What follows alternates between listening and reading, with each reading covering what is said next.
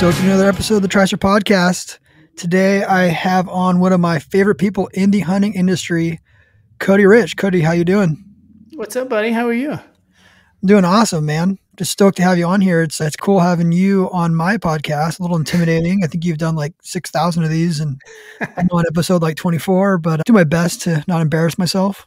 Dude, I I think you're doing awesome. I think it's cool. What's so far? What's the biggest takeaway from being a podcaster? Dude uh, a, a, few things. One like learning to shut up. Like i listen to my podcast which i know you i don't think you listen to your podcast. Like i listen to them and to prove myself learning to shut up and let the the guest talk and then also set up like just getting like a proper setup not rigging it and like having a good internet connection like is money. If you could just do a solid solid hour and not have like a bunch of dropped calls and that kind of stuff and delay like it's just so much easier. It's like anything right? Crap in crap out. Yeah yeah yeah. Quality into it it's good. Well, it's funny because we were um, talking about your new studio, which is super baller. And I was talking about when you're creating content, it's so nice to have it just set up. Like you have it dialed, it's so much easier. And I think like the podcast is the same way. Like you're just, you're dialed, like everything's ready to go. You know how it works. And not to be so meta, because we are going to talk about this in the podcast, but it's, it's very, very similar to hunting, right? Like when you have a pretty dialed setup of your gear, like mm-hmm. hunting becomes easier, right? It's like all of these things. I'm one of those people who like get stuff ready on Sunday. I want to know all my meetings, know all mm-hmm. these things. And I feel like those people go into the week and Mondays are much easier because you're like, you just have thought about things a little bit easier or a little bit more. And so you go into the week and you're like, you're, you're, you're dialed. I'm not saying like you're always completely dialed, but like you have this idea what's going to happen. And like similar to the podcast, right? It's like when you go in and you're like, you have the good setup and you're not going to drop calls, you're not going to have all these issues. Like it just makes life so much easier. It makes it fun. Yeah, hundred percent. Like I came in here because we were actually doing product videos last night, so this whole podcast video was tore apart, so they can film film in here and do pictures. And I came in here last night until ten o'clock and reset everything up for this. The camera was set up, the lights are to the right tone, like it's all done. So I'm not in here messing with it because and I'm to plug things in because there's nothing worse than getting in here and there's not a battery in the camera or it's just getting it dialed. So yeah, I think preparation it's like anything, right? If it wasn't for illusion, nothing would get done. I say that all the time. And I was like, I was podcast. And I'm the kind of guy that just jumps in feet first and just goes for it, or head first, I guess it'd be. And so I just jumped into it and just started doing a podcast. And then I haven't missed a week yet. It's been 24 weeks of podcasts and they're incrementally getting better and better. So it's just fun. It's like anything. It's I, I, enjoy building things. I enjoy entrepreneurship, and this podcast, even though it's a part of Tricer, is still like entrepreneurial because I'm just learning a new aspect of the industry, learning a new. I'm getting relationships. I think that's the biggest takeaway for me too on it. Is it's not so much like putting the content out there to people, which is awesome. It's the relationships I'm getting with people I'm talking to, right? And they're coming on. I'm talking to them, and we're having like a campfire. You know, even though we're you know, 2000 miles apart. We're having a campfire talk right now. And just, it's really neat getting to do that and get to know people and throughout the industry. And it's pretty cool. I said this probably three or four years ago, and I think it's just taken longer to come to fruition than I thought it would. But I, I always saw a podcast as like it's going to be tough to compete with the businesses that produce good podcasts because they don't have to have it monetized, right? And so like they can just mm-hmm. go out and produce these this content. And I think it's interesting to me. Like I've always seen podcasts as a networking tool. It's like a way to meet the right people. I, I think there's ways to do it to be more popular. And there's a couple ways to look at like any kind of content you're producing. And I know there's a lot of people who want to get into the industry, they want to do the YouTube thing, but the content you produce makes the connections, right? That's who you're going to meet. And the, the, interesting thing about podcasts is, especially an interview style podcast, you're going to have those interviews. You're going to meet those people. We're going to network with those people. And to me, that's always been the most valuable piece of a podcast. It's, I don't care if it really makes money. If it breaks even, great. At the end of the day, if it grows the network, you meet people, you build those great relationships, the real value, right? That's mm-hmm. how you move the needle.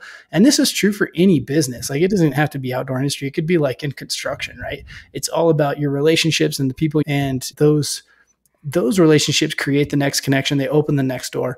And I think it's true in every business, no matter what industry you're in. Yeah. And I think for me too, like I have no idea what the monetary value of this podcast is for me right now. But the creative I get from sitting down and talking about hunting and keeping myself mm. fresh and keeping myself in it is really helpful for me in Tricer. And if that makes any sense, like going and creating new products and doing things, I'm just constantly in it now and, and having this conversation with somebody every week. And it just helps me. I, I enjoy it. Let's put it that way. Like I'm not doing this because I want to make money or because I want to like market tricer. I'm doing because I really enjoy this side of it. It's something that's outside of the business side of it with the stresses of business. I enjoy sitting down and doing this with people. So it's something I like to do and I, I'm having a good time. Yeah. You know, one of the, I don't know if like we can take this wherever you want, but one of the things that I always find interesting, and you and I've had this conversation, is like you have this whole other background, right? Like this whole other business.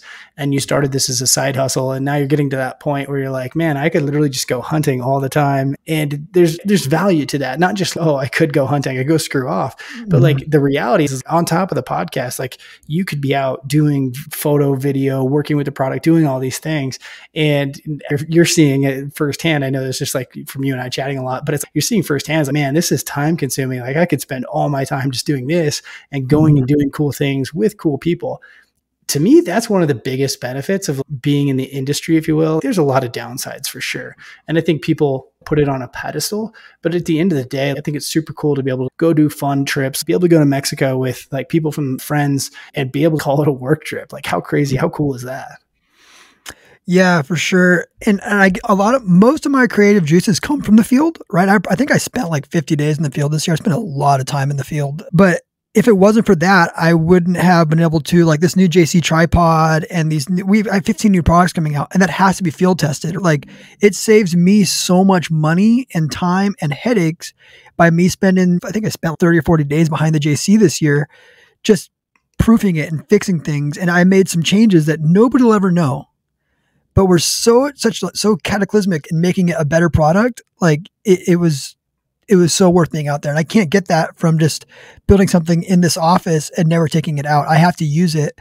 And even letting other people use my stuff, it's it's good to get that feedback. But me actually being out there doing it is so important. You got to get out there and do it.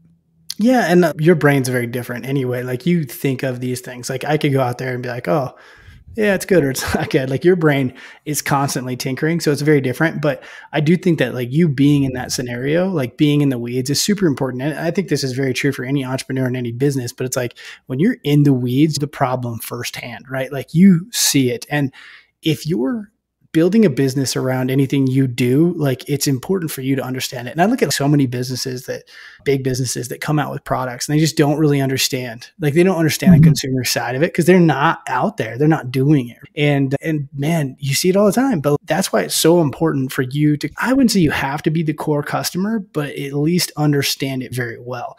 And like you're that, like you get to be out there, you get to see the problem. And then while you're tinkering with it like eight hours a day, right? Like you're like, oh, I can make this better. I can make this better. And it's it gives you that time to think about it. Yeah, and, and, I get to have things break on me. Like I want to break things. Like I was joking around. My creative director was over here last night, and he has all my products like in cellophane in their original packaging. Doesn't open them, doesn't use them. And I'm like, and he's like, I don't want to use yours all beat up. I'm like, we have such a different mindset, right? Like I want to beat the snot out of this thing to the point that it breaks. I want to see what it can handle and he wants to keep it as clean as possible, right? Because I want to be out there and doing that stuff. I want to beat it up and see where it's at. It is funny though. If you would have told me like three years ago, like I, I think influencers like the biggest douchebags, and then now I'm an influencer, like like my wife's, oh, you're a micro influencer. I'm like, what the heck? Like, where did this come from? Where I'm having to get content, having to be like the face of this thing on Instagram, and it's fun though. I really enjoy it. Um, but man, I never would have thought that I would be like constantly having to get content and do that stuff, but it is part of it, man. And, and getting that content in the field is important and it's a whole other side of it. So you have to be out there. Like, yeah, I could go hunting pretty much year round now if I wanted to. I don't because I run another company, but it's important. And it's not like you're out there just hunting. You're out there actually building your company and learning and developing products, right? I, I can't develop these products without using them. This is my opinion. Like, I, yeah, for sure. And the, so the other day I had this like thought and I'm going to try to elaborate on it here, but I'm still fleshing it out. Like we always talk about the the parallels between like entrepreneurship and hunting, and not everyone's an entrepreneur, but maybe like you'll appreciate the hunting side of this. If not, there's a ton of people out there in the world that are like, yeah, someday I want to go elk hunting, and they put this on a pedestal. And I, I talk to a lot of these people who they want to go elk hunting someday, like someday, and they they put always put out, I want to do it if I draw this tag. They always want like the premier tag, and mm-hmm. entrepreneurship is the same way. Like everyone a lot of people message me or send me DMs like, hey, what about this business idea? Is it good or not? And to me, it's it's very similar to not going elk hunting until you have a Nevada tag or an Arizona tag. And so even if you got that tag, you wouldn't have the skills to to bring it to fruition, right? Like you wouldn't be able to do it justice. And so I look at both entrepreneurship and hunting as you just have to go do. You have to like, you have to do the thing and you have to learn the skills through failure. You have to keep twisting and pivoting. Like you're never going to go out and the first time you're gonna, ever going to hunting and kill a 400 inch bull. And if you do, it's pure luck, but it's, you don't have the skills yet. You have to go fail a whole bunch. You have to figure it out. And I look at entrepreneurship as the same way. And I think you fall into this category of you're just willing to fail first. It's like starting that podcast, right? You knew it wasn't going to be good, but you knew that it was going to get percentage points better every time you did a podcast.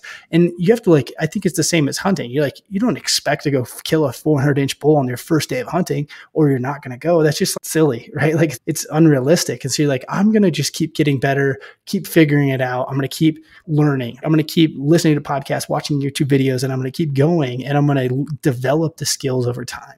And I think it's easy to look at hunting as like, oh yeah, I'm, I'm getting a little bit better every year.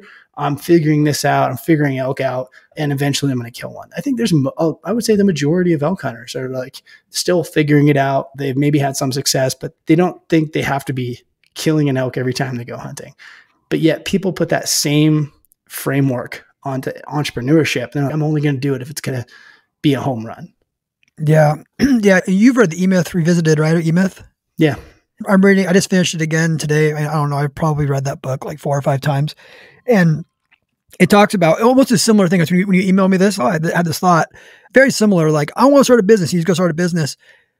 But if you were to start that business and you were to put the structure in place first and think about it, for, so it's like drawing up that bull tech, right? So there's a correlation there where if you were to put it in place, like we're starting a business, okay, I'm going to start a business, but I'm going to need this structure. I'm going to need to have an account. I'm going to need to have a salesman. I'm going to need to have all this stuff and build the whole business plan first. You're going to be a lot more successful with that business. Where with that same thing with that, that strip tag for mule deer or that unit one tag in Arizona, if you wait 20 years to elk hunting, just because you're going to this, going to unit one doesn't mean you're going to kill a 400 inch bull right? You need to put the the stuff in place before you get there, so you can kill that 400 inch bull because things just slow down. Uh, I, I, thought I had Robert Clark on. You're, you're friends with Robert, and we talked about that. How things just the more time you spend in the field, hunting just slows down for you, and it gets simpler and easier. It's not as complex. You're not as worried, not as stressed out. You just figure it out. You learn the animals. You learn what they're doing. You're a lot more successful versus just waiting. And, and there's so many guys who do it. I have a lot of friends who have 15 to 20 points plus and they haven't hunted elk in 10 years. And it's just like, good luck. If you get a guide, yeah. If you get a guide, you're going to, I'm all about it, you know? But I would much rather, I'm of the mindset that I would much rather draw tags that are not as premier and get out there and get that field time and maybe get lucky and get a big bull than just wait 10 years and not have that training because you can't replace that training. Like there's just no way to get it other than to get out there and hunt. Yeah, and I think in both cases, like both hunting, entrepreneurship, hell, you could wrap in life to this conversation. But for me, it's always you have to ask yourself, who do you want to be in the end, right? Do you just want to kill big? Do you just want to have a trophy on your wall, or do you want to be a good elk hunter? And like for me, I've always like I wouldn't say I've struggled with it, but it's yeah, man, I really want to kill big bulls and I love chasing big bulls, but it turns out that's hard and I'm not always successful at it. But at the end of the day, is my goal to have a wall full of trophies I can brag about? No, it my my goal is to be a really good elk hunter. And so I have to just take those failures. And it, could I go just lease up some property and kill giants and show the internet, look how great of a bull hunter I am? I'm like, yeah, maybe I could, but like it, defeats the point of you have to ask yourself, who do you want to be? And there's a price that gets paid for all of those things. So if you want to be a great entrepreneur, you want to be a great business person, you hell, you want to be a great dad or you want to be a great hunter, like all of these things have a price to pay and it's it's repetitions, right? Like you have to just go through the repetitions of doing it all the time. And then that's how you get better. And so I look at like the failures per se. I went to Arizona and struck out this year. And that was a real tough pill to swallow because I spent a bunch of points on it. But like at the end of the day, can I like pull the good out of it and be like, oh man, if I ever did that again, like I'd be a lot better for sure. And overall, did it make me a better elk hunter by going and trying to figure out that stupid desert? A, I learned I hate cactus, but B, I think on a grander scale, like you become a better hunter, right? And so you just be like, all right, got to pay your dues, you got to put in your time, and and that's to me, I always I keep falling back to okay, who do you want to be in the end? Do you want to just have a wall full of trophies, or do you want to be a great hunter? Yeah, and I think the willingness to fail too, like you said, and get out there. if you do it enough, eventually you're going to get that big bull. Mm-hmm. Right? Like same thing with business. If you try hard enough and you commit to it, eventually you're going to get the product you want to get to. Now there should be some planning going into it. Like you shouldn't just go out there and just start throwing products and no. wasting money. The same way you shouldn't just go draw an Arizona tag and just go walking around with a rifle and just hope one stands up, right? There's going to be some strategy involved in that, but you have to be willing to go out there and do it and fail, like you said. And you have to be willing to learn from that and learn from your failures. And I think one of the, we call them expensive lessons, right? Me and my friends, especially at Tricer, my partners, like we've had some very expensive lessons with marketing, with all kinds of stuff where it's cost us thousands of dollars, but we're not angry about it. We would never do it again, but we learn from it right? Like you have to learn from those expensive lessons. That was not only was that an expensive tag for you, you had to drive what two thousand miles to get down here, right? Yeah. You had to take time yeah. away from your family. You were down gone for two. You're gone during Thanksgiving, I believe. Or yeah. you come after? I can't remember. No, uh, it, yeah, I ended up going afterwards, but also cost me a set, whole set of tires. it, it brings me to like inputs equal outputs, and I say this both in elk hunting and in business. And I think once you I did an entire like solo podcast. I don't even remember where it was, but I did this talking about inputs equal outputs. And I, I heard it from the business perspective, but it's so very true in the hunting. But I, I think I've learned another lesson on top of that. So I'll give you the first one and then I'll add to it. So the first is we all know that inputs equal outputs. If I do X, I get Y. Like I do, I do this, I get that. And I think it's very true in elk hunting, right? If I know that if I let's just use locate bugle, say I'm an area, right? I locate bugle enough times, enough of those, like I'm going to get an answer. And out of those answers, if I get enough answers, I'm going to find a bull that wants to play. It's just a numbers game. So mm-hmm. I know that if I cover enough ground in enough good places, I'm going to get an opportunity. But I think, and that's like the inputs equal outputs. And I think that's very true. I look at hunting in that way of I just have to cover enough good ground and I'm going to get that opportunity. The difference is that not all inputs are the same. You have to have context for knowing if something works, right? So let's just say you have zero experience in marketing, right? And you're like, oh, I read this in a book or I saw this, I'm going to do this. And then you waste money, right? And you're like, oh, bad idea. Now you have context. So then you go to the next thing and you're like, oh, this, but this. And you keep going down this like context rabbit hole of what are good inputs and what aren't. So for example, from a hunting perspective, say, and I use elk all the time because that's like my favorite thing, but let's just say like I had no experience whatsoever in elk hunting. And I go out and I'm like, man, I don't know if this is an elky area or not. Like that I don't have enough context. And so what a lot of the repetitions are just building this context. You're building that that memory bank of, oh, this is good, or I like this situation, or this is elky, I need to stay here.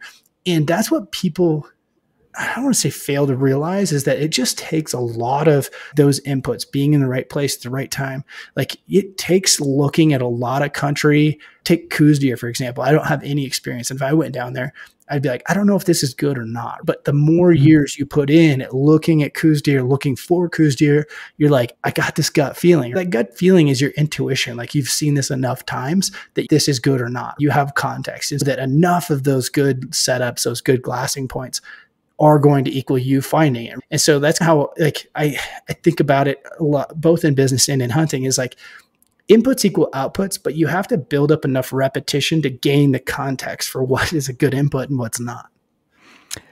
How much like speaking on that, uh, I think it's a good correlation for hunting and business. How much of failure is from people just getting their head stuck in the sand? I'm going to go here because it looks really good and staying here that makes sense. Okay, yeah. I, I, saw an elk here. My grandpa killed an elk here, so I'm going to go right here. So I'm going to do it. And the same thing with business. Like you get your mindset on, I'm going to do. This is what I'm going to do, and not being willing to pivot. How important is that pivoting and that moving to next, go to the next spot? And you see this a lot with hunting, especially with people who have had success in a certain area. Like we all know, like the classic example of, oh, grandpa hunted here, so I hunted here. And you're like, people will say, I see this all the time where it's like, hunting's not the same as it used to be. You're like, yeah, in that spot. You have to grow out of that. And I think it's easy to get stuck in these, here's what's worked. And I think as humans, we tend to gravitate to, to what's worked for us in the past, which is not always the case for the future. And so once you break out of that shell, it's easier to recognize. So mm-hmm. for me going to Arizona, like I, d- I just don't have any context of what was good the year before. And so for me, I'm constantly bouncing. And in a way, maybe in a bad way, like I'm not putting enough effort into it. And it's, it's a balance, right? Like I also see people bounce around too much. Mm-hmm. You know, they're not giving it enough. This, I love how there's so many parallels between business. It's maybe you ran uh, a few Facebook ads. Like, oh, Facebook ads suck. They don't work. it's like, well, you ran it for a week. Do you really? Is that the answer? And same with hunting. Like I could walk down in Arizona is a great example because like you could sit there for days and not see anything, but it's a great area. And so you could go glass for an evening, not see anything. Is there any elk there? Maybe not. I don't know. And so like you have to give something enough effort and that depends on the area. And that's the hard part. But I do see both sides of this. So there's not there's it's not black and white. There are people who will go and hunt the same place over and say the hunting's not what it used to be, but they're they don't want to branch out and find new areas. And in the same vein, like they there are people on the other end of the spectrum that just bounce around and they're like going too many places, not putting enough effort into it. So again, I think it boils down to like your context, like how much experience do you have looking at those bucky or boldy areas? Oh, this looks bucky. How do you know that? Do you have a bunch of experience? When I went to Arizona, nothing looked boldy or bucky to me because I'm like, this doesn't make sense at all. But that's just because I didn't have years of experience looking at that type of terrain. I don't know if that answers your question, but it's a little bit of both. No, I think it does for sure. And I think it, for me, it's the same thing, right? If I know there's like an animal, if I know there's elk in an area, like even though I might not see them, I, if I get, I know that if I continue to hunt that area long enough, I'm eventually going to get a chance at this elk. I had this mm. situation with my kids hunt. Like it was, I knew there was elk in this area. He ended up missing opening day, but and a few times we moved because we were just like we just don't want to hike down there. We're tired. But it, that never panned out for us. This moving. There's been other times where I've hunted an area and for four days and not seen an elk, and then made a move and killed a bull because sometimes it's important to move. I think the same thing for business too. When you're when you have a business, you're the only one that's going to believe in that product. You're the only one that's going to believe in what you're doing. And other guys might say it's cool, but you're going to have to stick it out sometimes. And you have a good product. You know the bull's there, but you're going to have even though people think you're crazy, you got to stick it out and keep doing it and keep fighting and fighting and fighting because eventually it's going to take off because you know you believe in it and it's your vision and your dream. You're going to get there. But at the same time, like for me, I've had products that I've done where I put a lot of passion into and I thought they were great and people didn't think they were great. So I had to be willing to pivot and make so something. When, how do you know when to fold them? Dude, I, I think I've gotten, you have to have thick skin. Like you have to have thick skin and just recognize if it's not selling, it's not a good product. like if it's not, that's, I, I think that's the best barometer for business, right? If it's not, if it's not selling, it's not a good product. If there's not elk, it's not a good spot if it's just like the, the proof's in the pudding. I think if with me, if I have a product where I have to just constantly be training people to use it and I'm constantly having issues with it, it's just like it's probably a thing I need to fold on and go on. Like, I thought it was great, but it's maybe it's not. If I have to constantly tell people why it's great, it, it's not worth it. But if people tell me it's great and it sells itself, then it's a great product, right? And right. same thing for hunting. If I have to like tell myself like, oh, my grandpa killed one here 20 years ago, but I haven't seen one. It's, I shouldn't be there doing it. I got to move on and be willing to fold them and go find a new spot. And yeah, you know, it's successful. I heard a quote the other day that was, oh shoot, how did it go? It says, if you have to do sales, it's because you're bad at marketing. And if you have to do marketing, it's because you're bad at product. And I think there's a lot of truth to that. A great product sells itself, right? 100%. Like a, gr- a great area in hunting, so, yeah, like, it's not a question, right? and like yeah. everyone has their own like what they're looking for. But I think going back to the product thing is if you again, if you have to sell people on it and they're just not buying it, maybe it doesn't matter. Like maybe it's on to the next thing. And I think we can look at like all the things that we want and be like, man, this would be so cool. But at the end of the day, does the market want it? And maybe there's a lot of products I think that just come too early. And maybe that's a piece of it. Maybe it's timing. And I think that's a, a timing is a good way to not to have thick skin, but like to avoid it. So it's not your fault. To be like, this product was just too early. And, and a lot of times it's, you can sit here and try to tell people about the product. And sometimes they'll be like, oh yeah, that's a great idea. But the litmus test is if they take their wallet out. Do they actually mm-hmm. buy it? And people can tell you like, "Oh, that's such a great idea," but at the end of the day, if they don't pay for it, like there's your answer. And I think you've seen this because you've had products that are rocket ships, right? When something is like, "Oh, I get it now. This is what it looks like when people mm-hmm. want your thing. When it's a great product." And I think you have to just be able to kill your babies until you find that thing, right? You have to just say, okay, uh, until I find that rocket ship, like this one's done, on to the next one. Yeah, I'm a very like change oriented person. Like change doesn't scare me. I love change, But change is one of the scariest things for, I would say, 95% of people, right? Like I love change. I love new systems. I love figuring things out. So I'm not a, I'm a guy that's not afraid to bounce and change things up and figure it out too as well. And I think you can't be afraid of change, right? With products and with business, like you can't be afraid of that's not working. Let's not throw good money at a bad product. Let's just kill the bad product and continue to go. All my products are good, by the way, but you guys don't know what you're talking about. If you don't like it, it's your fault. Right? That's the mindset you have to be careful for because it's like you put when you put time into something, it could hurt when people don't like something, and you're like, yeah. no, you're wrong. And it's like the consumer's never wrong. At the end of the day, right? how do, you, how do you not take it personally? Oh, I take it personally. No, I've gotten like, how really do you get good. over it? Uh, I text you what I was going to say to the person all the time. it's like today I text you, right? Like yeah. this is like this is me being really nice. Like I sometimes I just can't help myself and I'll just come at somebody, but I take it because dude, th- these keyboard warriors are they're hard. It's hard because I don't think people understand like when I'm creating all these products, I'm putting my heart and soul into them. Like you get it, right? You see me coming yeah. at you and like we, we talk together a lot. And like I'm putting my heart into it. So when you come out and just bash it or say something or do a review video that's like way off or a hit piece, it's very hard not to take it personal. Yeah. It's very hard for me to walk away from it. Like where my partners just laugh, like, oh, that's funny. And I'm just like, how are you not? It's like you're someone telling you your kid sucked at baseball. Like you, you can't not take it personally. That's right. your kid. You put all that time into it. You made it, and it's just, it's yeah. I don't know. It's hard not to take it personally. It's hard to not. I think you have to look at all the good things people say as well, and, and try and brush us under the rug. But yeah, it's I, I have a hard time separating the two. A very hard time. And I always will. But I think that's good though. I think you have to take it personally because it's motivating. Like right. you have to see things like when someone comes at it or or if there's an issue with my products like breaking, like I want to figure out how to fix that. I don't want to keep selling a product that's going to break. I want to find a way to fix that and make it even better, right? Or if there's an issue with, um, I mean, the, the LP panhead is probably like the hottest selling panhead in hunting industry right now. And I've made like four changes to that this year that no one's even known about to make it even better, right? And my why are you doing that? Because I can make it better.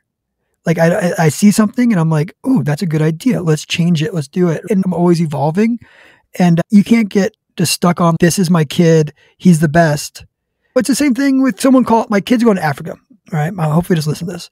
He's going to Africa with my wife. I went to Africa with him last year. My 15 year old's awesome. He does youth ministries at the church. He does, he works hard. He's a good kid. He went to Africa last year.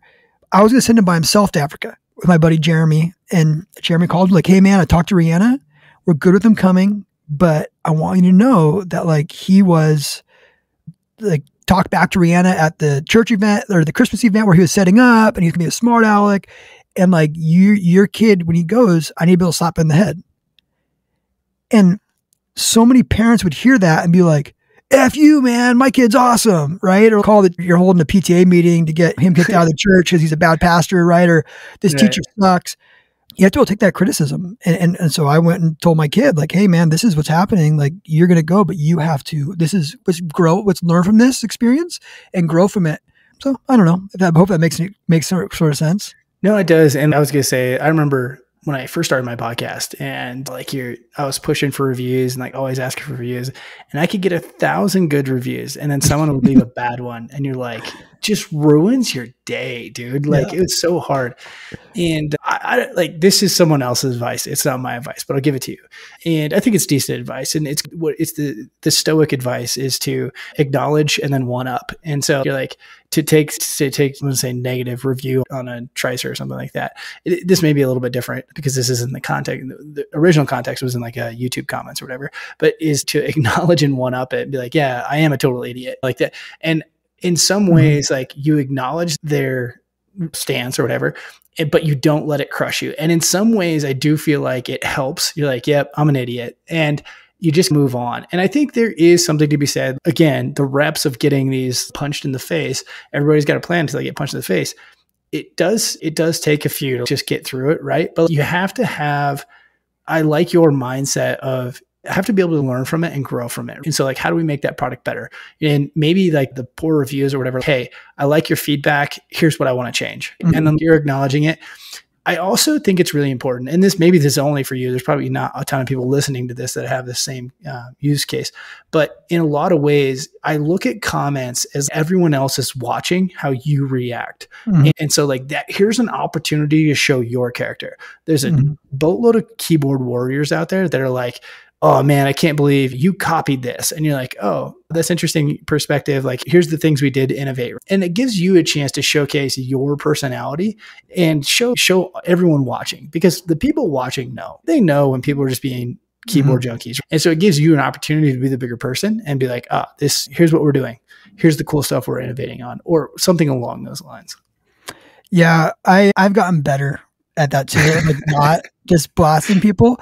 And what I've started doing too, and it actually someone did it. I'll just DM them and be like, hey, "Here's my cell phone number. Call me."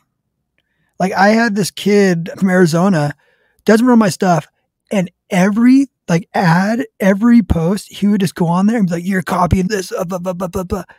And finally, I was like, "Hey, man, here's my call me." We had an hour conversation like driving home because like I was just tired of it. Like I was just talking on the phone, like get to know me. Like we'd probably be like good friends if we hunted together. We have a lot in common. Like I don't know what you're, and like yeah. by the time the conversation was, over, I was like, oh, I didn't realize you did that. I didn't realize you changed that. He was just like, I don't know what he, he just had it out for me to just badmouth me. Yeah. And so I've been doing that, and honestly, people just don't call me, which is awesome. And then they stop commenting. I'm like, hey man, just just call me up. Let's talk Eh, because yeah. like, then you get to know me and you understand like where my mindset is with it. You know what I mean? Like I'm not out there trying to copy people or, or, take people or hurt people. I'm just trying to grow a business. I'm a guy with five kids, just like you, and I'm just working my butt off trying to grow something. And when you get to have that conversation, people really change their mindset, get to know you. Totally. But I think it's like the next piece of that, which is good. The next piece of that is like, how do you show that at scale? Which is like everyone's watching, mm-hmm. and I say that loosely. Not everyone sees everything, but to, to, when you see those comments, like all the people watching that are on the fence about you or your product or your brand, mm-hmm. they don't really know. That's an impression, and it may be the only impression you get with them. And so I always look at it as who's watching. And so I type my response that I want to say and then I delete yep, it and then all the time. yeah, absolutely. All the time. Or I'll or I'll do is I'll just call one of my friends and talk to him about it or text my friend. Like this is what I want to say this guy, I'm not gonna say it. It's just not worth it. And honestly, with the negative stuff, I feel like it's so motivating for me too. Like it does tear me apart. There's someone who did a review of the video this year on one of our tripods and it was just so much of it was just so far off of the truth on the tripods, like the design, how it was designed, why it was designed. It was just like, but it was spoken like truth. Like he never called me. Like we just like what? And I was not happy. Like I was just bummed, and I can't not watch it. I have to watch the whole thing, twenty minute review. Like I have to watch the whole thing, and they'd eat me alive. But I came out of it, and I literally left work that day, drove to Sportsman's warehouse in San by my house bought a pair of Zulu 6s and created the most bitchin' Zulu 6 mount for Arca because I was so pissed off from this thing and I made this mount out of it. So I take those, a lot of times I'll take that criticism and use it as motivation and fuel for my fire. Especially, Dude, I think I think it's so underrated. Like the whole negative criticism thing, like it is so underrated. I think we all have that story of someone said I couldn't, so I did it, and you'll go you'll move mountains to prove people wrong. And I think like mm-hmm. negative criticism is a I don't want to say it's a good thing, but like it it's powerful thing for sure. Like looking back into in a lot of the things, like so many things that I built, I, I, definitely went way too far and too long on stuff because someone said it couldn't be done, right? Like that's mm-hmm. that's more motivating to me than be like, "Oh, you're doing a good job." you can tell me I'm doing a good job. It's not going to do anything. But if you say I can't do something, for sure I'm going to figure out a way to do it. Yeah, my competition should really learn just not to say things about me because that's the most motivating thing in the world to me. Like it just gets me fired up. I'm like, okay, I was tired, but now I'm not. Yeah. Thank you. It's like uh, one of my favorite documentaries is The Last Dance with Jordan. You watch that? Yeah. Oh yeah. And dude, it just talks about how like he be, you know, it just took one thing. A guy didn't shake his hand. He went and scored 70 points the next day. or it's just like one thing would just piss him off like they the, the Pistons beat him, right? And he would he went home and just they worked they went straight to the gym and they worked out and got bigger. He put on 30 pounds so they could beat the Pistons the next year. like it's just like that you can look at it two ways. You can look at like negative stuff and like let it eat you alive, or you can look at it as motivation. It's gonna hurt, but right. you gotta learn from it. Like you have to learn from it. And I think the same thing we're talking we're going back into hunting. Like you're gonna make mistakes, but you gotta learn from it. Like you everything you do has an output, right? Like you said, So if you're if you blew a stalk, put a note in your head for that so you don't do it next time. Don't look at it like, oh my gosh. And trust me, like I've been there. Like when you spend a bunch of time and you miss an animal, we've all done it. Dude, like you want to quit and go home. You want to crawl up in a ball and cry. It's just like, what did I do? How did I spend all that time, four days, finally got in the position and missed the shot? Like that eats you alive, but you got to learn from it and get back up and do it again because you're going to miss again. You're going, it, when, without a doubt, you're going to miss again. I tell my kids it all the time because they tend to miss a lot lately. Let's just do it again. Let's go back after it, dude. I, I got an interesting. I, I, didn't we didn't plan on this, but I you just made me think of something. And you're the only person I think in the world I could talk to this about. But I've had this like concept, and it's through watching Supercross in the mental game, the mental side of Supercross, and t- thinking about hunting. And there's so much to to be said for like the confidence, right? The mind game, and yeah. like you go into a hunt and you just feel like an absolute killer. There's something super powerful about that. If you go in and I don't care if it's as simple as man, my bow is doing something funny the day before the hunt. All it's all off. And you watch Supercross, you like we're both Supercross nerds and we text each other about this. But when it comes to Supercross, it is crazy how much the mental game. And you would think that that is the top level performers. But and I think it's like in an individual athlete sport, and this could be said for a lot of individual athlete sports. It's not a basketball team where you Dude, golf, one hundred percent golf. yeah, great example. But like hunting is, is very much this way too, dude. How much like how much do you think that the confidence plays in a role? The mind game plays a role in your success as a hunter. Oh, without a doubt, it does. And I think that's a, another thing we talked about earlier with spending more time in the field and not just going out one time. Because you start to learn, oh, that's just part of it. Hmm. Like I'm probably there's a reason why this tag is only a 30% success rate. I'm probably going to fail 70% of the time. You have to get that mindset. Yeah, 100%. I think that you're going to go out and you're going to fail and there's so many times where you just don't want to get out of the tent or like you want to quit cuz you missed an animal or I've gone home. Like I I remember gut shooting an animal Arizona and just going home. I just could not get it back together. It was like day three, and I had, I think it was a six day hunt or something, or five day hunt. And I was just like, I'm like, I'm over it. I'm going home. I just wounded this animal and it sucks. And I left. And I can never get that hunt back. I can't get that tag back. So yeah, it's a huge part of it. And I think even more than I agree, and I've had those experiences. There's one time I left early, and that one haunts me for a long time. And actually, that negative motivation has kept me on a lot of hunts. But at the same time, there's just something even more nuance uh, like when you feel dangerous and i know like it's so cheesy but like when you feel like an absolute killer and you're on the mountain mm-hmm. and you're like man this like i you're more keen like your eyes are more keen you're more you're looking a little bit extra right you're just like you're going that extra little bit when you have that confidence and i think that's a bigger like the mental toughness is its own thing getting out of your own head is its own thing. There's macro level decisions that are made along a hunt, but I think like the micro decisions, the little like just extra bit, that extra bit of effort. And it doesn't even have to be like, oh, I'm going to hike over an extra mountain. It's I'm going to glass a little bit harder. I just like that confidence like I'm going to find something any second. And that little bit of confidence can go so far on a hunt. And I've just noticed it. And the more I watch Supercross, the more I'm like, man, I think that is a big piece of it I don't know if you can fake it though. I don't know if you can just be like, man, I feel dangerous today, and you're going to be yeah. more, you know, better in the mountain or whatever. Yeah, there's something to be said about when you put your crossbows on an animal and you're like, you're dead.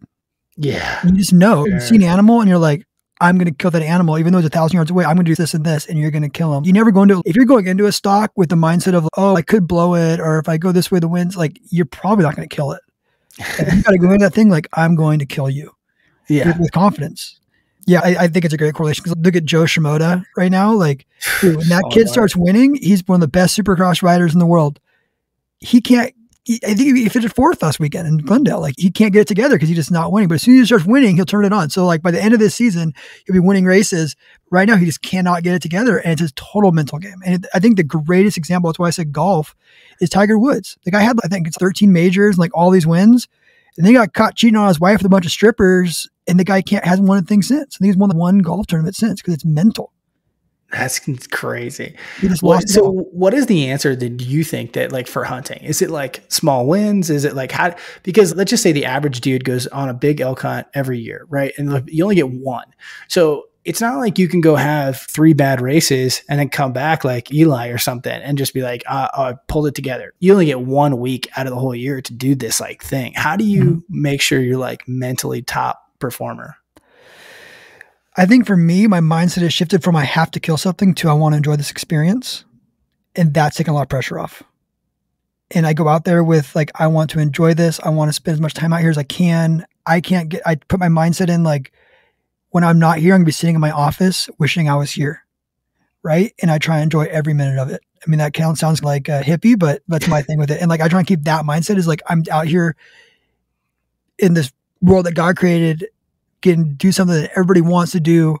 Let's enjoy this to the fullest.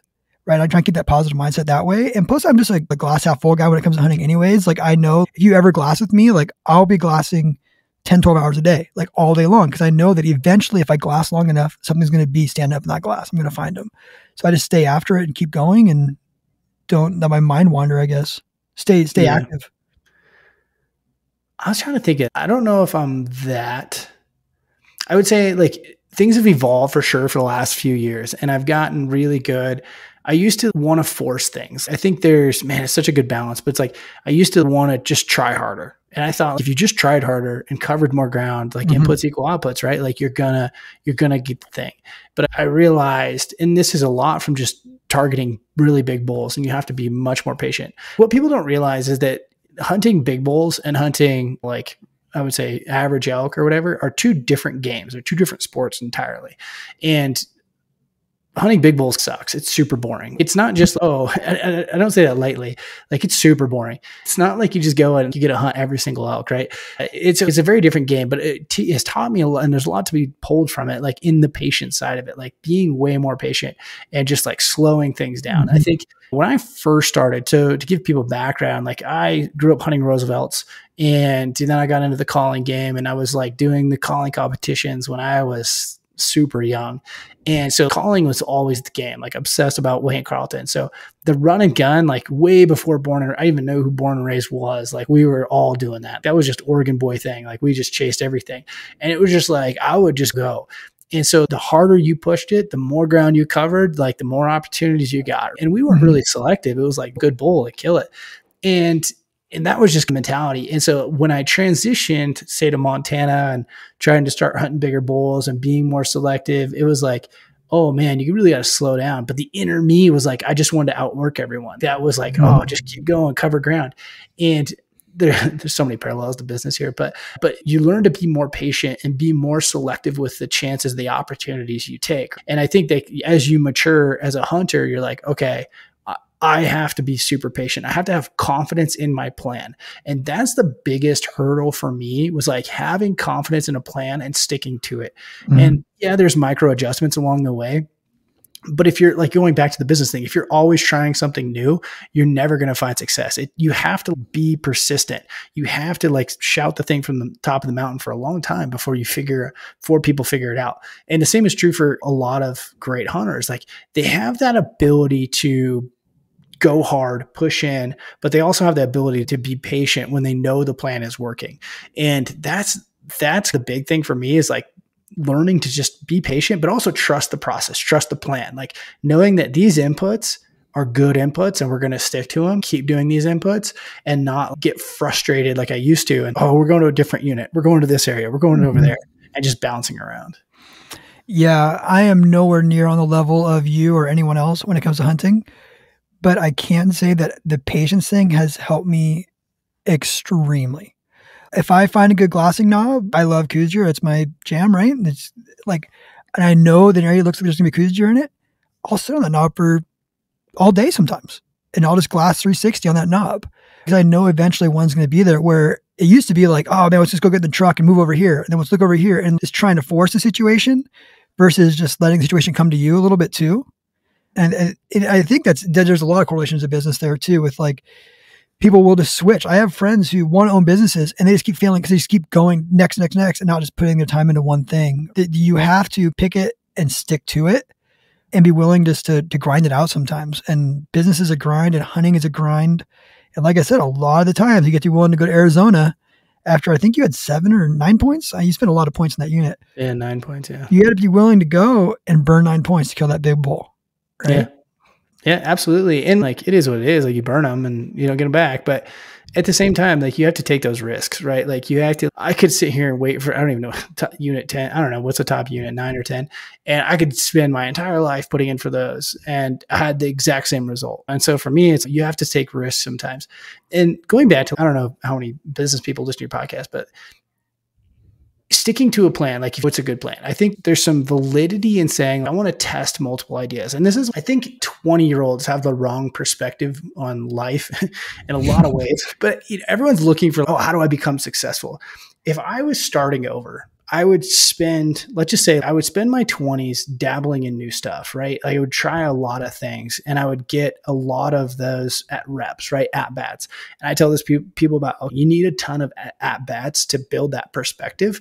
And, and the same is true for like life in general. Like you should get a lot of at bats references, right? Like you need that context. And then when you see something that works, you have that built up gut intuition. Oh, this has potential. And then you stick to the plan, right? You stick to that thing longer than you think. And every friggin' business book in the world will tell you that it's going to take way longer than you think. There's no overnight success. And, and Drew, Drew could tell you, like, yeah, you're on a rocket ship, but at the same time, it's probably taking you longer than you think. And actually, I wouldn't say that. Like, how many years before the rocket ship took off? It took a long time. Yeah, five years of pushing this thing to finally get it to where it is. And yeah, and we're still figuring it out and still growing and trying to get, we're nowhere near where we're going to be, right? Like, I could right. just, I was talking, like, we've had all of our success with literally like four products. And I could probably stop making products now and just be done and just be like, oh, that's gonna be a cool income for the rest of my life or however long the life of the Tricer is. But I don't want to do that. I want to continue to grow and bring more products in and grow that thing. And from there, because I know since day one, since conception, right, I did a video of when I first got the first tripod in Arizona in 2017. I knew what this company could be. And this company is way bigger than it is right now. And I know where I want to go. I don't want to go too much into where I want to go on the podcast, but I know the markets I want to go into within the tripod space and the hunting space that are outside of what we're doing right now. Like I am like when I tell people like I'm just getting started, like literally I'm just getting started. Like it's just a snowball. It takes time to keep going and going and keep growing it. And I, I think that's super important to understand. Like for people listening, like most people will make more in a year of their 40s than they did all through their 30s. And so the, the context is it's not linear. So let's just say Drew has this business for 15 years, it's been five. You'll probably make more in your 14th year than the one through 13 or one through 12 in some capacities. Like it just gets bigger and bigger. And I look at the not the accomplishments like look at okay if i want to succeed it's not that i have to make a bunch of money in my 20s i need to develop the skills and at bats to be mm-hmm. able to see the right things in my 30s then in my 30s i want to focus on those things and learn and get really good at it like become the best in the world. Like we'll say drew's the best at designing tripods in the world like that's what he needs to be really great at. And then you know the I would say all the spoils come. And so I think about that too, is like maybe from the hunting perspective, is like, yeah, I man, I've spent 20 years learning and learning. And actually I'm coming into a bunch of really good tags now. And it's it's cool because it's okay, now I got the skills, I got the time, I got like now it's I'm gonna be dangerous. And I, like maybe I'm not, maybe I'm not successful, but I look at it in that perspective of man, it takes so much longer than you think, but it's worth it. For sure, dude. That's good business stuff. Let's go into the hunting side because you keep talking about killing elk.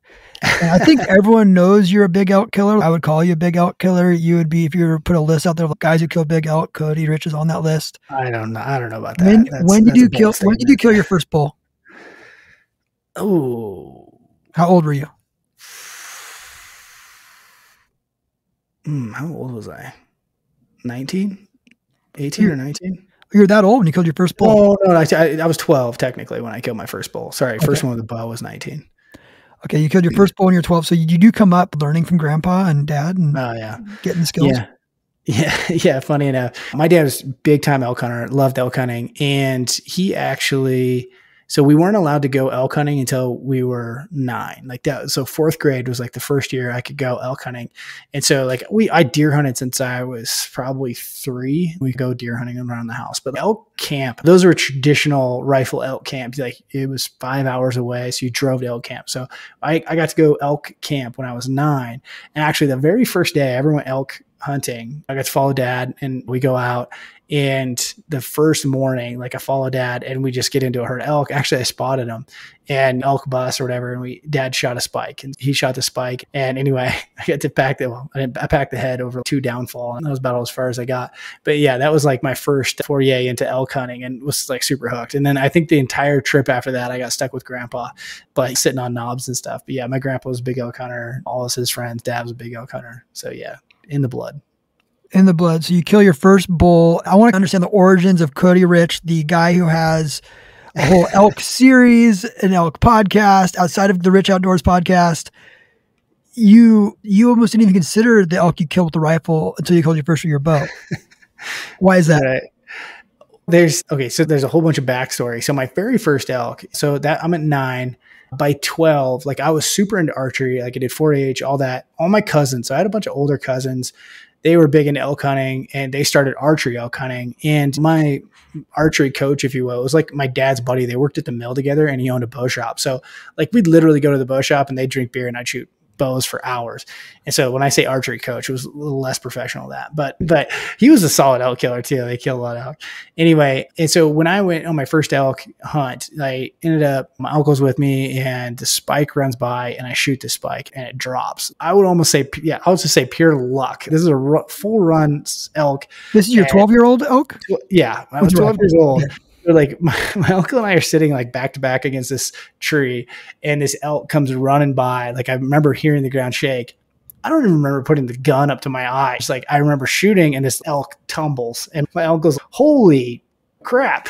And uh, so like we dropped this elk. Long story short, like some guys came in, so we went down and we bumped this elk. He was like right there where I shot him. And they're like, oh crap, we gotta wait. And we're like down in this reprod now. And and we like start blood trailing a little bit. We bumped the elk again, but he only went 20 yards. I was like, oh, we should wait. And all of a sudden we hear gunshots going off. And so like my uncle just throws me on the ground because it's like right there. And like start yelling. And we walk over there. It was like maybe 50 or 60 yards away. And and like these guys are already skinning the elk. So long story short, I didn't even get to keep my first elk. Someone screwed us out of it. Long story short. So technically my first elk wasn't until 19. But like right after that, I started bow hunting. And um, so I never really rifle hunted again until probably mid 20s. Uh, so I became like a diehard archery guy and uh, started archery elk hunting. So it sounds like you grew up in the traditional elk camp, which I would consider like traditional elk camp is like if it has antlers, kill it. Right. Yeah. Like I, I went to Oregon and hunted, and there was a lot of camps like this where it's like they were just shooting spikes. Right. So how did you transition into now chasing big bulls? Like your first bull at 19, were you like, I'm only going to shoot six by six bulls? Or how did this, how does evolve until you've become this guy who kills big bulls? You target big bulls. How did that evolve? What did that look like for you, that process? That's interesting. No one's ever asked me that. So my dad would roll in his grave because my dad actually he killed 16 bulls and never killed a six by six. Shot spikes and I think he had a couple raghorns. Anyway, I don't know. I don't know where I got the audacity to be like, yeah, I'm a big bull hunter, but like maybe it's just watching too much TV or Primos or Wayne Carlton or whatever. But I like in the early years, I we used to get this tag in Oregon that was it's now very coveted. Just I don't know how I ended up there. So anyway, long story short is I was in a really good unit and I had 30 days to be there.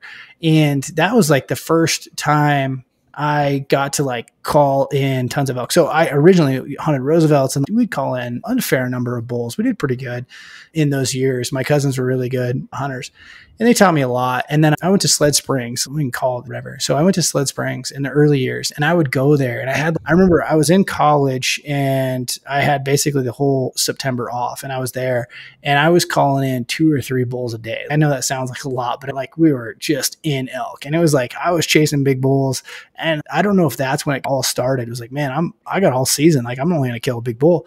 And so I started chasing big bulls. I started getting like crazy at bats. Like I was I was hunting every single day, getting into tons of elk, some of the best elk hunting in the world, and, and like just having all these opportunities. And actually, the first bull I shot, like there was a bull I was after. I, I called him Hammerhorns, and I was on this bull for four or five different days. Like I was in on him. He was a giant. And the day that I ended up killing my first bull with my bow, again, I don't know who, who, gave me the audacity to be like, I'm passing. I passed lots of elk that season. Anyway, when you're, ni- when you're 19. Yeah. Oh yeah. Passing elk. That's awesome.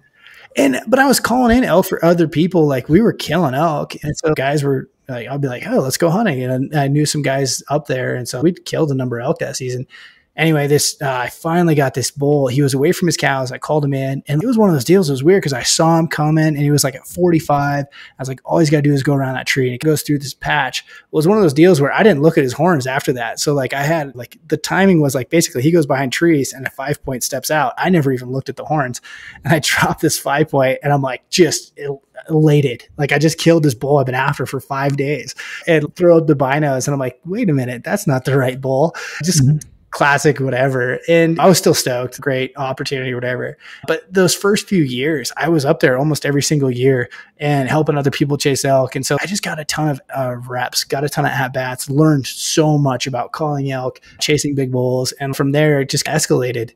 And I wasn't even, I was into big bulls, but my perspective changed. I remember I came to Montana and I hunted with some buddies. I just hung out with these guys about a week ago.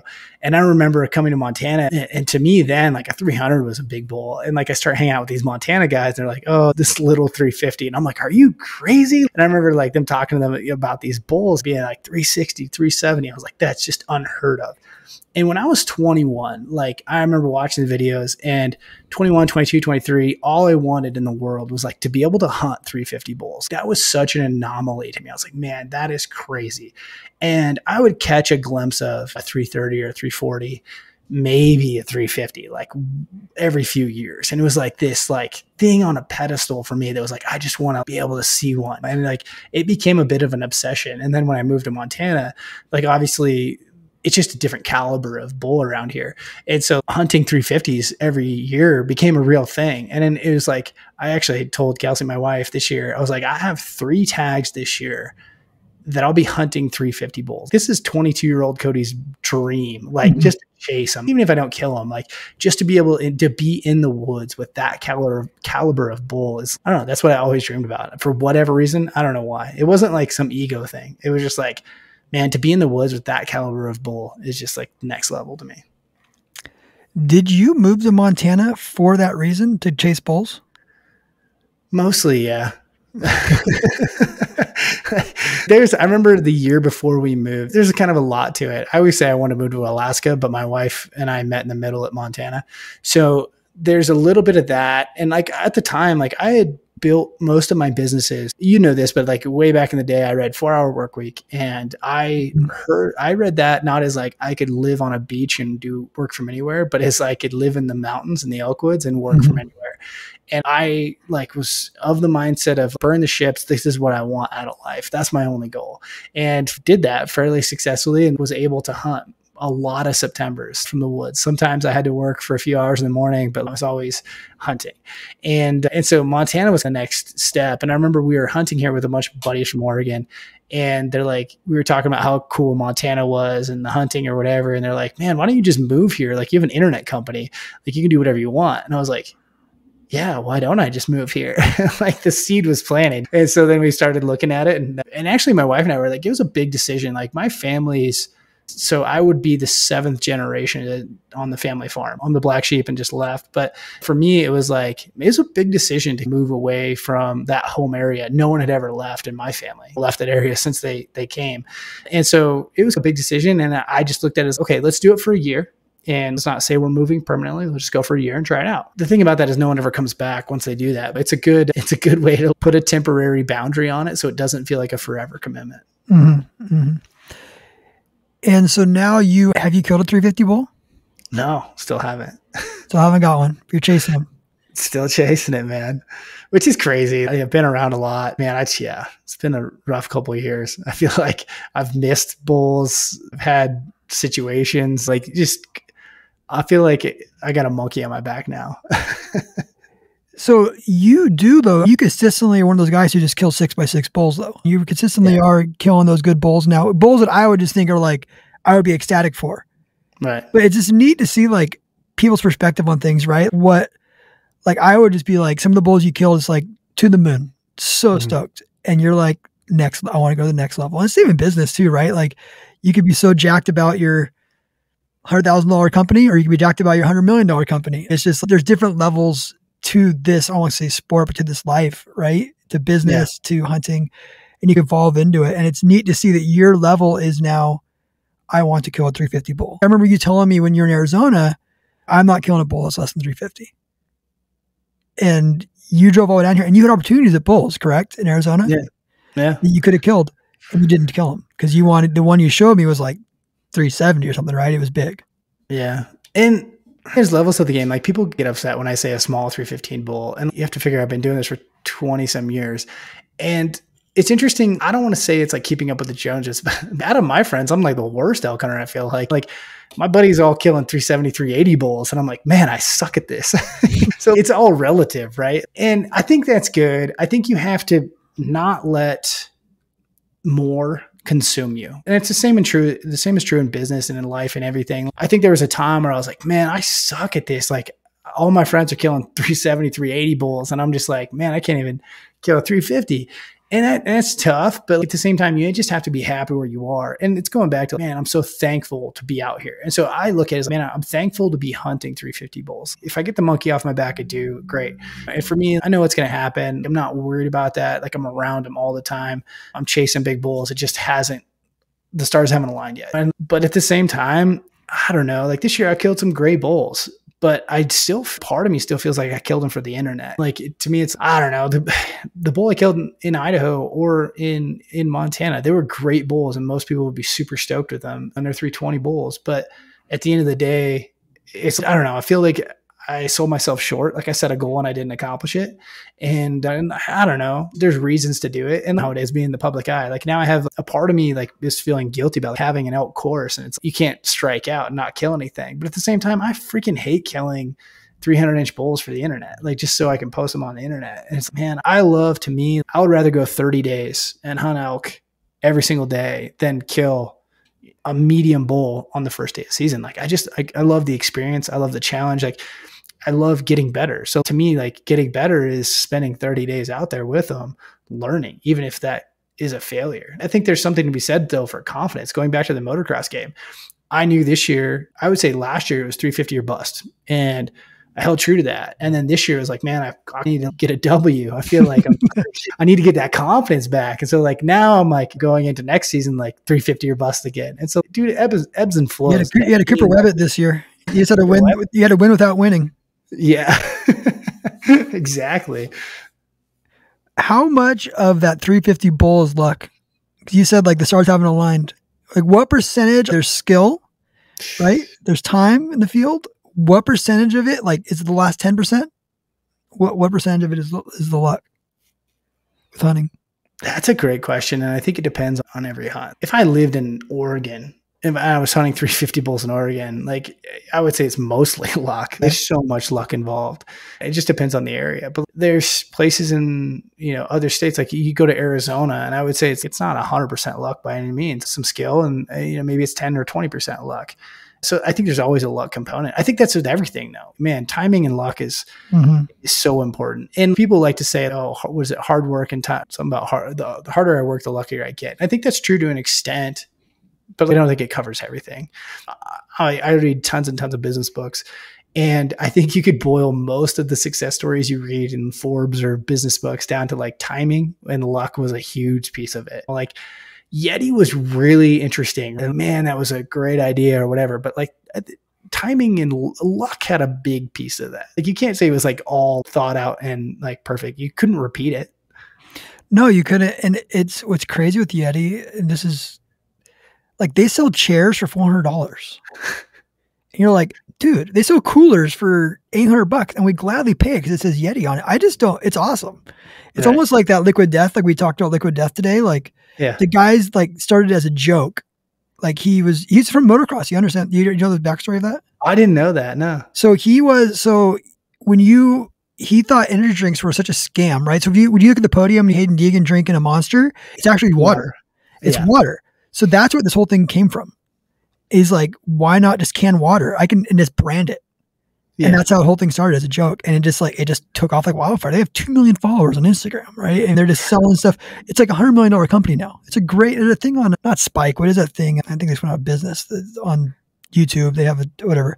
I'll send it to you. There's a great story on it on YouTube, like their whole origin story where they came from. But it was a lot. Of it was just luck. Sometimes it just happens, man. But a lot of luck is created too, right? Like you got to put yourself in the right place and be willing to fail, right? right? So if you're not out there chasing bulls, like he's not going to behind that tree. If you go totally. home, if you go back to the tent, like you have to be there to create that luck. But there is an aspect to it. You do hear about the dude on his side by side in Colorado every couple of years. He just shoots a 230 inch buck he was going out elk hunting and he, a deer stood up and he shot it. So sometimes you get lucky. Yeah. And I don't think it's to me like killing one 350 isn't that's just maybe that's all luck. Maybe it's not. I don't know. But like killing a 350 bull every single year, I have buddies that can produce 350 bulls almost every single year. And you're like, that's definitely not luck. Yeah, that's insane. That's nuts. But if you can produce a, I got a buddy who's averaging probably I have to do math again. I know he's averaging over a 375. That's like, crazy. All time. So age class on that bull is seven years old? Probably older. Man, I just read an interesting study actually that Jaden sent it to me. And it was talking about how basically bulls and bucks will hit 90% of their peak by gosh, what was it? I think it was like year six or seven for bulls mm-hmm. And three or four. And so people think it's like this linear number or this linear it's age not. growth thing. It's not. It's like pretty young. It, it might have been two years old for a deer. It was something crazy. I remember looking at me like, that's wild. But they hit 90% of their growth potential. And then that can flux based on environmentals. And then sometimes they have a spike one way or the other in old age, but it's not what we think of like this. The, he's a two point this year and then a three point and then a four point and then a, like this. They start to regress.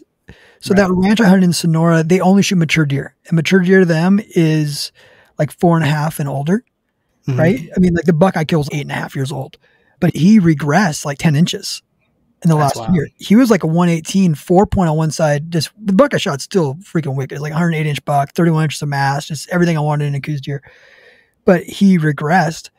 And Mm-hmm. that's their thing is like there's just like this perfect point where he just blows up and it's like they say it's four and a half to five and a half six and a half is like when they really just get giant right then and you can see it in them too but you know what they're going to be at two and a half right at right. three and a half you can kind of right. see what they're going to be you can see them because they're a little stringy and they, but the antlers are there and like oh this buck will be this in a couple of years but yeah, there is a peak to it. So like you bull can just they start going down. They can't, which is wild. And then like with bulls, it's interesting because you can have a good water year and it can flux 10 or 15 inches, oh, no yeah. problem. Oh, yeah. so, and then it's interesting because, like, this year in Arizona, everyone's, oh, what a year to have it. What a year to have it. The weather, the water, all this. But then the vegetation must have been way different because everyone's, man, they're not seeing anything. They're not where they used to be. Mm-hmm. Like, it's, it's, it's the catch 22 of, oh, yeah, great bull or antler growth year can't find them. There's just too much, too much feed everywhere. Too much water, too much stuff. Yeah, yeah that's hunters though, dude. We bitch about everything. It's oh, oh I, I, killed him because of the full moon. Oh, I didn't kill him because of the full moon. It's I still don't know. I don't like a full moon, and I'm like these guys I was Sonora with. Oh, full moon's the best. That's the best time to hunt. And I'm like, what? Like it's people. Everyone's different. Everyone has an excuse. Like it was too hot. There was too much water. There wasn't enough water. It's just we immediately want to make excuses for why we spent all this money and had to go home and tell our wives we didn't kill anything. Yeah, hundred percent. Yeah, I, I, see that too. Is they're bugling or they're not bugling? It's yeah, somewhere on the mountain they're bugling. yeah, they're there somewhere. We're getting to the end of this thing. We're over an hour. I like to wrap up with like a hunting story. Just give me a good hunting story, campfire. Give me a bitch hunting story, and then we'll send this thing off. What kind of hunting story you want, man? What's the lesson we want to? Whatever you want to give me. Give me your favorite hunting story. Give me the one you like to tell, the good story. Man, I'm trying to think of a good one. You should have warned me could tell, I already told half of them my first elk story. Oh, okay, I got one. Oh, this is actually good. So this year I drew an Idaho rifle tag, and it was special to me because it was the unit that I first hunted out of state. It was my first out of state hunt, and my first six point. So fast or flashback. What year is that? I know there was like a 15 year gap. So 2008, I started hunting out of state and I went to Idaho and I went to this unit. I didn't know anything about the unit, drove through it once. And this is like even pre me e scouting. I think I like I, I remember ordering the maps and like getting the maps or whatever, but pretty fresh. And I went there and I hunted super hard. I chased some great goals. Long story short, I get on this bull and it is a absolute storm. It's raining sideways, and I'm, I'm chasing this bull and I just can't catch up. He's a herd bull. He's got a herd, and I'm like always running into the spikes, and I'm trying to keep up, and it's just absolutely downpour. And this bull steps out, and I go to use my rangefinder, and I got nothing. It's just it's not even yep. turning on. And I was like, no. And I was like, thinking about taking the shot, but I'm like, I just don't know. I didn't know how far it was. And I let him walk out of my life. And I, I like they shut up and we're gone. And I was so heartbroken. One of those times I almost quit.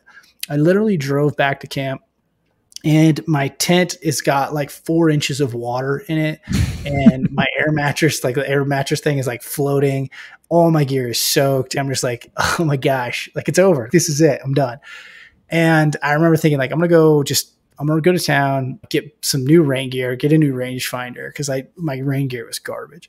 So I went to Bi-Mart and I got new rain gear and I got a new rangefinder and had a burger and the sun came out and I was like, all right, like I got to give it one more shot. So I go back and everything's um, yeah hanging up in the trees. I'm gonna go for an evening hunt. And that evening, I go on a hunt, I go back in there and I'm listening, nothing. And I'm like walking down the road. And I didn't like where I left these elk was quite a ways away. So I wasn't expecting it. But all of a sudden, like, uh, hear a bull just absolutely rip, like right next to me. And I'm like, holy crap. Like, literally standing on the road. And here's where luck, you know, strikes you. And I look up and here comes a cow over the hill and she like runs like coming down at me. So I'm like knocking an arrow and this bull just comes over the hill screaming right behind her. And he like turns and he screams. I range him and I shoot and uh, smoke him. And he like runs over the hill. And I'm like, holy crap, that just that just happened. And like all that work, I almost left. I was so close, dude, to like just driving home. And I didn't. And I shot that bull long story, I go back in there and I pack this bull out. And it was it rained all night. It was absolutely miserable. And I have this picture, this old picture of me like in the brush with this like big six by six bull, and that was my first six by six. So fast forward this year, and I drew the tag again, and I was pretty stoked to go back to the same area like 15 years later, and had the rifle tag, and the rifle tag's hard to draw. And the unit's definitely gone downhill, but I was like, still had high hopes. So I go back in there and this time I e-scout it and I had to actually figure out where I was because I hunted this unit a number of years and I had some pins or whatever. And it, long story short, I e-scout the crap out of it and I go back in there. And this year it was fun. It was really cool. There was a lot of people. Like it was a, definitely a rifle tag, and I didn't factor in all the deer hunters because I showed up a little bit earlier than I should have.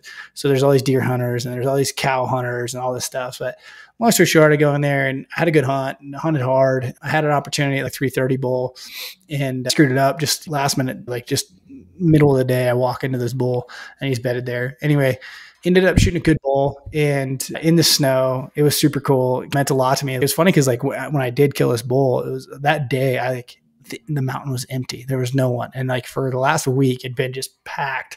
And so like it snows the day before I shot this bull, I didn't see an elk. I covered 13 miles, didn't see a single elk. And I, and I was like starting to second guess myself. So when this bull steps out, I ended up shooting him or whatever and I was stoked about it. It was a cool hunt. It was super cool to relive that. Mm-hmm. Oh man, this is like the where it all started, like way back in the day before I knew anything. And I was hunting right over there, and it wasn't that far from where I killed the two bulls, but 15 years apart. So that was super cool. And I was by myself, but I met some really cool dudes, old timers on that hunt. And there's this one old timer. He'd always swing by my camp and at BS, and going back to having old school traditional elk camp like with my dad and whatnot. Mm-hmm most of the time I'm hunting by myself these days. And so I, I didn't have that, but I had this old timer. He would always swing by my camp and man, just one day he swing by and I think we BS for three hours. And so it was cool. Like hear old stories and the guy had been there for a hundred years, all these stories. So it was super cool. It was fun. That's awesome, dude. That's uh that's what I want to hear is a great elk story. That's awesome. I appreciate it. So man, where can we find you? Where do you want to plug yourself? You want to plug Rich Outdoors? What you got going on? Yeah, yeah. Still I'm, I'm building something. Drew knows all about it, but it's it's going to come soon. So I'll tease that like it's coming soon. I wasn't. Uh, I didn't even know if I was going to say. That. I was going to say that you're building something awesome because I am so excited for what Cody's building, and it's probably been like almost a year now. I've been talking to him about it, and I'm just like, Yeah, I'm excited because I remember like the first time he texted me about it and we started talking. We talked for an hour about it. I was just like, oh, what if you did this? What if you did this? What if you did this? Yeah. Like, I get, I'm happy for you. I'm happy for people who are successful and do things. And I'm like, I'm so happy to see what this turns into for you because I hope you're like Steve Jobs, dude. I'm excited. That's funny. Maybe this is a conversation for off the podcast, but like, I I've been holding it in so long I don't know when to start saying it. You know what I mean? Like, Yeah. I'm not like trying to keep a secret. At this point, it's like for at first it was like this big unknown. And so I'm trying to like, okay, I, I set a date in my head that we're gonna start teasing it. So I'll start teasing it today. I say something's coming. I won't say what, but like something cool is coming. We've been working on it for a long time. But yeah, other than that, I check out everything I'm doing with so the elk hunt channel. So we've separated, and I have the Rich Outdoors podcast, which is my per, become my personal podcast. I talk a lot about entrepreneurship, life, lifestyle design, all the things that I'm interested in outside of hunting and in hunting. So it's a, it's a very diverse podcast. And then a lot of my elk stuff now is just through the elk hunt podcast. And I have I brought on a partner with that just because I'm so busy doing the other thing. So Zach Bohay's helping me out with that. And so we're we're really trying to grow that thing. And Zach wants to take that full time. So I have someone that to pick up my slack when I'm screwing off so much. But so yeah, check out the Rich Outdoors or and or the Elk Hunt podcast. That's awesome, dude. Let's let's do it again. Kill that For sure, 350 man. bull. Come tell me the story about it. Yeah, eventually. It'll be weird when it happens. Yeah, you get to kill 400. yeah. Thanks, bro.